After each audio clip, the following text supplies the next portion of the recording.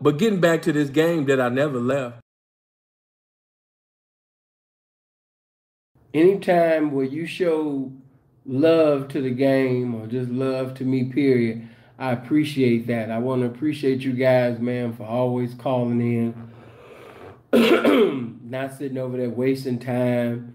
You know, man, you call in, man. You give your statements, man. You know, matter of fact, one of my mods, y'all keep posting that number until Helena get up in here. You know what I mean? Keep posting that 504 line. That 504 line, that's the number. Okay, hello? Okay, hello? Okay. Hey, sir, how you doing? I'm doing better, brother. Blessings to you. Hello? Yes, can you hear me, bro? Hello? Uh, I was trying to say thank you for spreading the word. Oh, I appreciate that. I appreciate you for being thankful for the word being spreaded. I ain't nobody, but you know, I appreciate you for taking time to hear the word. And let me make this known to all of the newcomers that's at the channel. I'm not a minister. I'm not a pastor. I'm not a man of God. I'm not a prophet. You know, uh, in all actuality, I ain't shit. I'm just a nobody that's endeavoring to tell everybody about something that can uh, help them get everything. bro, you got to turn that background down. Turn the background down, bro. Yeah, you know what I mean. But no, I'm not. I'm not anybody special. Uh, I'm just a YouTuber. Uh, even when you hear me speak, you know about urban things. I'm just a YouTuber, man. I'm the greatest square that ever lived. I love Big Bro. Oh, Rest in thank peace, you, bro. What'd you I've say, been, bro? Uh, to your, to your uh, YouTube channel for almost two months now, and it's on point, and thank you. Uh, I appreciate you and thank you. Yes, sir. Have a good evening. I'm going to continue to watch the show. All right, bro. Blessings to you. One.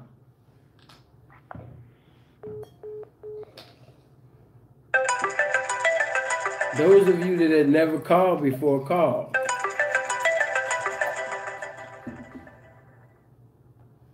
Hello? Hello? Blessings to you and good fortune to you as well. I have a question I wanted to get your insight on. With, the with the Me Too movement in full effect, men today are being held to traditional ways, and women have evolved to non-traditional ways pertaining to relationships and connections between both genders. So the pain of rejection and down talk from women to men are inter- men are being having to internalize it and suffering in silence. What do you think men need to do to change these results in treatment? Hold, hold, hold, hold on, bro. Um, to the brother, let me let me say this because that was to my last one. He said, "Correct me if I'm wrong, but Christians supposed to be Christ-like, follow in the footsteps of Christ." And he always has a reference to his father, and he said, "We shall follow uh, his father's will." Let me say this.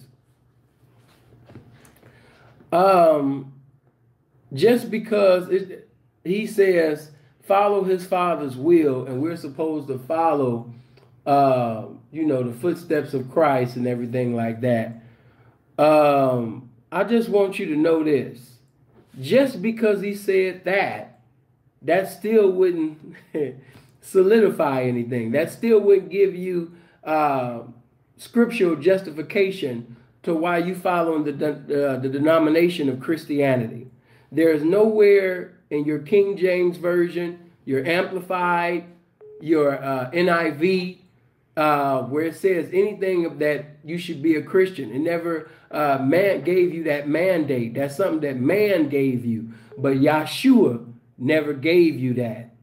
Okay, all of this he never he never said anything. I might say a statement, and somebody else might take my statement and they put a name on it, and they say the sinful is the founder of this. And in all actuality, I'm not the founder of that. I was just saying something right, and you put a name on it, and you put your own little uh, instructions and uh, manual over but I don't have nothing to do with that. You just took my statements and ran away with it and put a title over it.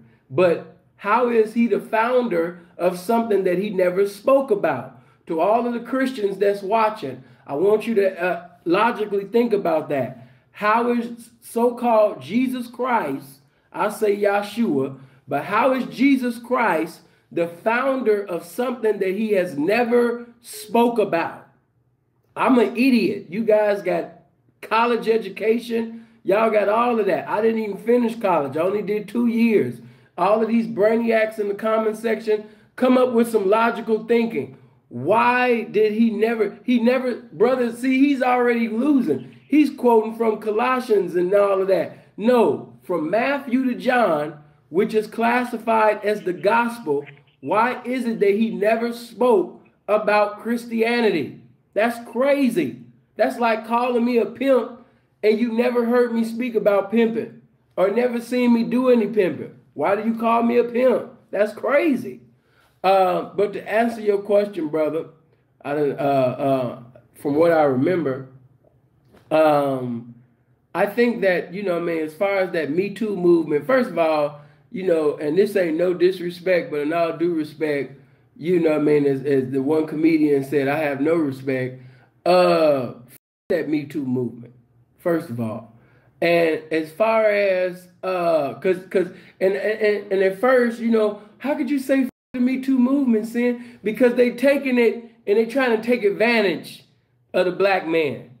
You know what I mean? Like it, uh, uh, the Me Too movement, at first, it pre- presented itself as if it was going to be beneficial to women. But all I'm seeing is, you know what I mean, black men getting uh, tore up and destroyed and all of that shit. I don't agree with that.